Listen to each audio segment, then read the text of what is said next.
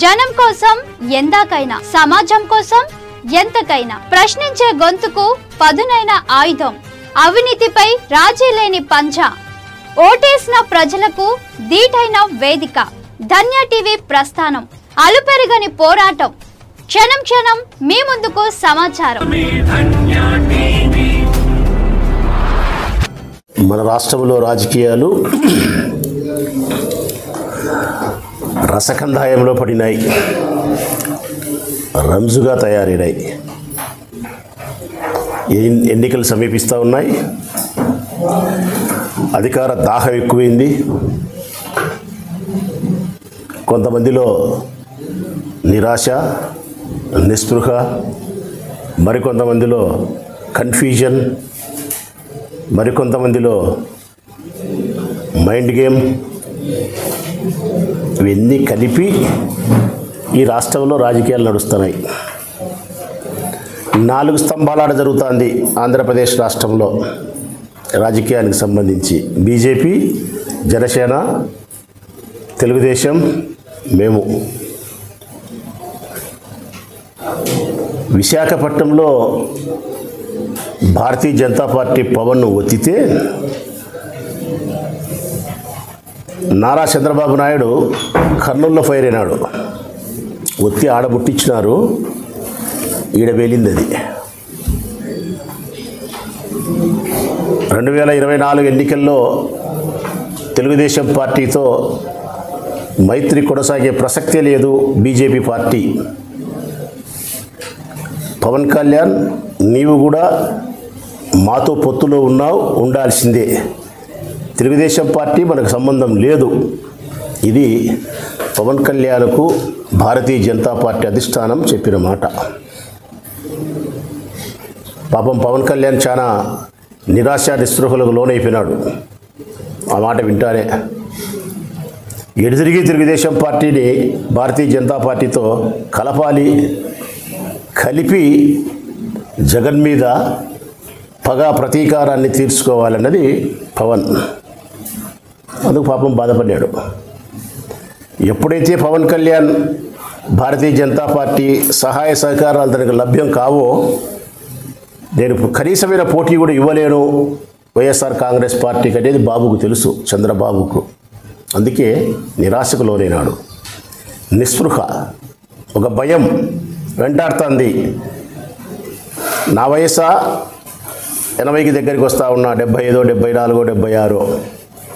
ఈ ఎన్నికల్లో గెలవలేకపోతే తిరిగి మరో ఎన్నికలు నాకు ఉండవు నాకు ఉండకపోవడమే కాకుండా రెండవసారి అధికారానికి దూరం అయితే అసమర్థుడైనటువంటి నా కొడుకు ఇక రాజకీయాలలో నిలదొక్కోలేడు.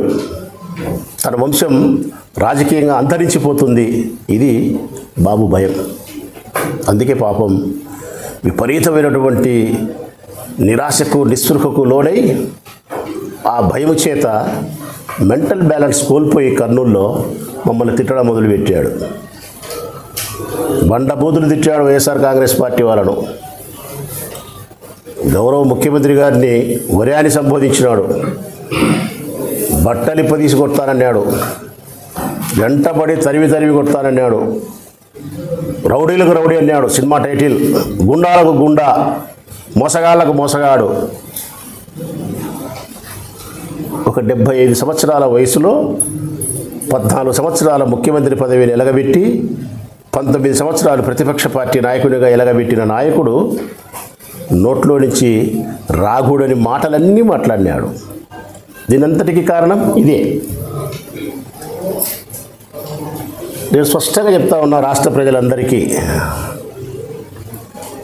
గమనించండి ఒక్కసారి రాజకీయాలను.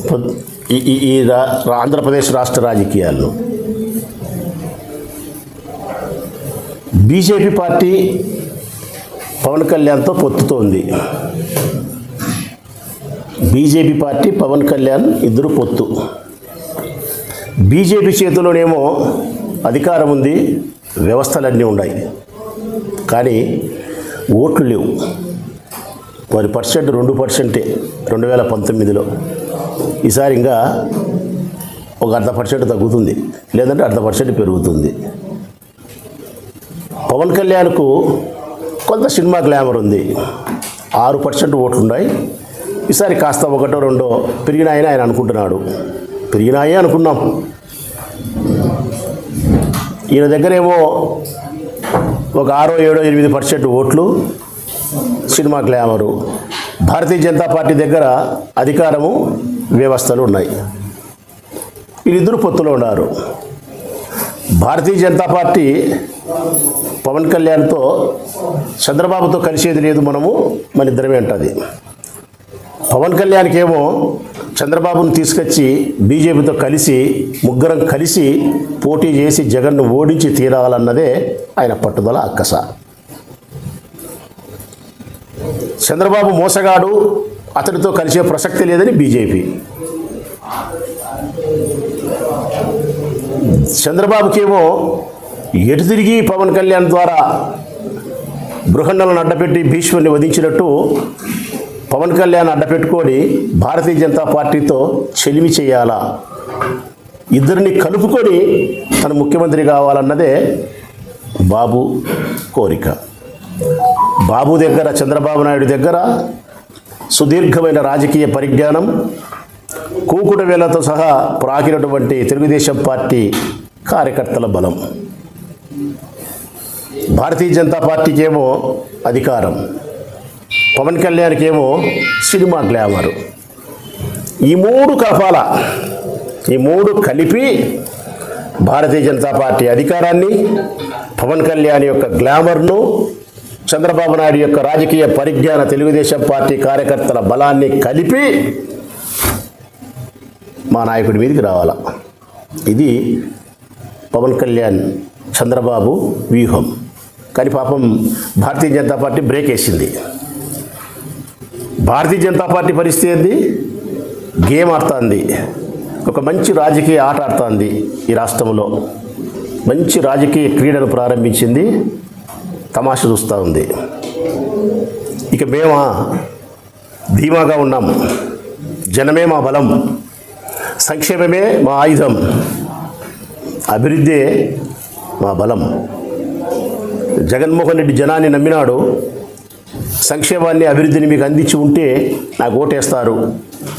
నా పరిపాలన నచ్చి ఉంటే నాకు ఓటేస్తారనే ధీమాగా ఆయన ఉన్నాడు జగన్ ధీమాగా ఉన్నాడు చంద్రబాబు భయంగా ఉన్నాడు పవన్ కళ్యాణ్ కన్ఫ్యూజన్లో ఉన్నాడు బీజేపీ పార్టీ గేమ్ ఆడుతుంది ఇది ఈ రాష్ట్రంలో జరుగుతుండే రాజకీయ క్రీడ. ఈ క్రీడలో పాపం చివరి ఎన్నికలు చంద్రబాబు నాయుడికే కాబట్టి ఆయన వయసు అయిపోయింది కాబట్టి ఇక గెలవలేకపోతే తర్వాత తనకు వయసు లేదు కాబట్టి తర్వాత తన కొడుకు నిలదొక్కోలేడు కాబట్టి ఒక నిస్పృహ. అందుకే అంతగా తిట్టింది మమ్మల్ని. చంద్రబాబు గురించి పవన్ కళ్యాణ్ గురించి చెప్పాలంటే ఒకరు మోసగాడు ఒకరు వేషగాడు. చంద్రబాబు ఏమో మోసగాడు పవన్ కళ్యాణ్ ఏమో వేషగాడు. వేషగాడు అంటే నా దృష్టిలో సినిమా వేషమని కూడా కాదు. కాదు. పూటకొక వేషం వేసేవాడిని వేషగాడు అంటారు. మొట్టమొదటేమో ప్రజారాజ్యం అన్నతో తర్వాత ఏమో వాళ్ళన్న కాంగ్రెస్తో తర్వాత ఏమో స్వతంత్రుడివి జనసేన. తర్వాత ఏమో తెలుగుదేశం పార్టీతో తర్వాత ఏమో బీజేపీతో బీజేపీ తర్వాత తర్వాత ఏమో మళ్ళీ చంద్రబాబు నాయుడుతో. దీన్ని ఏమంటారు పూటకు ఒక వేషం అంటారు అందుకే అతను వేషగాడు. చంద్రబాబు మోసగాడు. ఈ మోసగాడు వేషగాడు కలిసి మా మీదికి రావాలా? దానికి మళ్ళీ భారతీయ జనతా పార్టీ అధికారం కావాలా? ఇది వీరి కుట్ర. స్పష్టంగా చెప్తాను చంద్రబాబు నాయుడుకు. ఇవి నీకు చివరి ఎన్నికలే. నీ వయసు రీత్యా కానీ ప్రజలలో నీకుండే అన్పాపులారిటీ దృష్ట్యా కానీ ఇవి నీకు చివరి ఎన్నికలు. ఇక భవిష్యత్తు నీకు లేదు. భవిష్యత్తు నీకు లేదు. నీకు భవిష్యత్తు అంధకారం అనే పదం కూడా నేను ఉపయోగించను. ఎందుకంటే భవిష్యత్తు కోసం ప్రయా ప్రయత్నం చేసేవాడిని పోటీ చేసేవాడిని అంధకారమో వెలుగో ఉంటుందంటారు. చంద్రబాబు నాయుడుకు భవిష్యత్తుకు ప్రయత్నం చేసే పరిస్థితి లేదు కాబట్టి ఇక నీ జీవితంలో వెలుగు లేదు చీకటి లేదు. నువ్వు కాటికి కాళ్ళు చంపుకున్నటువంటి వృద్ధునివి. ప్రజల్లో బలం క్షీణించిపోయినటువంటి ఓ రాజకీయ పార్టీకి సంబంధించిన అధినేతవు. ఈ పరిస్థితుల్లో నీకు మెంటల్ బ్యాలెన్స్ కోల్పోవడం అనేది పరిపాటే ఆ మాత్రం మమ్మల్ని తిట్టడం అనేది కూడా సహజమే. జగన్ను కానీ మా పార్టీ వాళ్ళను కానీ ఎమ్మెల్యేలు కానీ ఇంకోరు కానీ ఇంకోరు కానీ రెండు వేల ఇరవై నాలుగు ఎన్నికలతో వైఎస్ఆర్ కాంగ్రెస్ పార్టీ నాయకత్వంలో ఈ రాష్ట్ర ప్రజలు తెలుగుదేశం పార్టీకి రాజకీయ ఘోరి కట్టి తీరుతారు. కట్టకుండా పోయే ప్రసక్తే లేదు. చిత్తు చిత్తుగా చంద్రబాబు నాయుడు ఓడిపోబోతున్నాడు. ఇంకా ఒక సంవత్సరం సమయం ఉంది. ఈ సంవత్సర కాలంలో మినుకు మినుకుమనే ఆశ చంద్రబాబుకు. మినుకు మినుకుమనే ఆశ. పవన్ కళ్యాణ్ ఏదో ఒక రూపంలో భారతీయ జనతా పార్టీని ఒప్పించుకొని నన్ను కలుపుకొని ముగ్గురం కలిసి పోటీ చేస్తే నేను గెలుస్తాను అనే ఒక మినుకు మినుకు ఆశ. కానీ భారతీయ జనతా పార్టీ యొక్క ఆజ్ఞను ఉల్లంఘించి బయటకు వచ్చే సాహసం పవన్ కళ్యాణ్కు లేదు అనేది సుస్పష్టంగా అర్థమైపోయింది. అక్కడ ఏదో ఆయన ఇరకాటంలో ఉన్నాడు. భారతీయ జనతా పార్టీకి రెండు శాతమే ఓట్లున్నాయి నాకు ఆరు శాతమే ఓట్లున్నాయి మేమిద్దరం కలిసి పోటీ చేసే ఏదో సామెత చెప్పినట్టు సన్యాసి సన్యాసి రాసుకుంటే బూడిద వచ్చినట్టు మేమిద్దరం కలిసి పోటీ చేస్తే అది ఎనిమిదో ఏడో తొమ్మిదో వచ్చాయి తప్ప పెద్ద ప్రయోజనం లేదు. కానీ మీరు చంద్రబాబు నాయుడు కలుపుకోకపోతే నేను మీతో ఉండను. బాబును ముఖ్యమంత్రి చేయడమే నా ధ్యేయము అని లోపల ఆయన ఇంటెన్షన్ ఏమైతే ఉందో దాన్ని బహిర్గతం చేసి బీజేపీని ఒప్పించగలిగిన కెపాసిటీ లేదు. అంటే భారతీయ జనతా పార్టీ చెప్పు చేతల్లో ఎక్కడో ఏదో ఇరకాటంలో ఆయన ఉన్నాడు ఏదో లాభాన్ని ఆశిస్తున్నాడు. ఏదో భయానికి లోనైతున్నాడు. భయం చేతనో లాభం చేతనో పవన్ కళ్యాణ్ భారతీయ జనతా పార్టీ చెప్పు చేతుల్లో ఉండిపోవాల్సిన పరిస్థితి వచ్చింది. ఇది ఈ రాష్ట్రం యొక్క పరిస్థితి. ఫైనల్గా నా ఉద్దేశం ఏమిటంటే ఎప్పుడు రాజకీయాలలో గెలవడానికి ఇన్ని కుయుక్తులు ఇన్ని పార్టీలతో పొత్తులు ఇన్ని పకటివేషాలు ఇన్ని మోసాలు అవసరం లేదు. జగన్లాగా ధీమాగా ధైర్యంగా ఉండాలి అంటే సింగిల్గా సింహంలాగా పోరాటం చేయాలి రావాలి అంటే కనుక జనాన్ని నమ్ముకోవడమే కరెక్ట్. రాజకీయ పార్టీలను వ్యవస్థలను నమ్ముకునే దానికంటే వానితో చెలివి చేసి వీనితో చెలివి చేసి వాని కాళ్ళు పట్టుకొని వీధికాలు కాళ్ళు పట్టుకొని వానికి మోసాలు చేసి వానికి అబద్ధాలు చెప్పి ముప్పై ఆరు వేషాలు వేసి ఎన్నికల్లో గెలవాలనేది అనుకుంటే జగన్లాగా జనాన్ని నమ్ముకొని ఇచ్చిన అవకాశాన్ని కరెక్ట్గా పురస్కరించుకొని ప్రజలకు సేవ చేయగలిగితే ధైర్యంగా గుండెల నిండా సాహసముతో ఊపిరి నిండా ధైర్యంతో జనం లేకపోయి ఓటు అడిగేదానికి ఆస్కారం ఉంటుంది. ఇప్పుడు మా ధైర్యం అదే.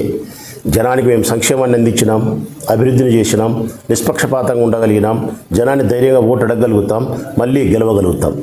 కాబట్టి చంద్రబాబు నాయుడు ఇది నీకు చివరి ఎన్నికలే. ఇది నీకు చివరి ఎన్నికలే. మళ్ళీ నువ్వు ఎన్నికల్లో గెలవడం కాదు కదా పోటీ చేసే అవకాశం కూడా నీకు రాదు.